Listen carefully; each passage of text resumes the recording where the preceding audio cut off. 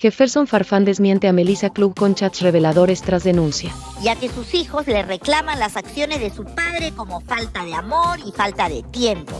Jefferson Farfán rechaza las acusaciones de Melissa Club, quien lo denunció por supuesto trato psicológico a su hijo. Según Melissa, Farfán regañó y dejó solo a su hijo durante una visita no planificada, causándole un daño emocional. Sin embargo, Farfán desmintió la versión de los hechos a través de su Instagram, mostrando conversaciones donde aclara que su hijo le avisó previamente de la visita. Asegura que nunca evitó el encuentro ni dejó al menor solo, ofreciendo incluso organizar un corte de cabello con su peluquero. Farfán cerró su defensa citando un refrán dejando entrever que Melissa es una mentirosa. ¿Qué opina sobre estas discusiones?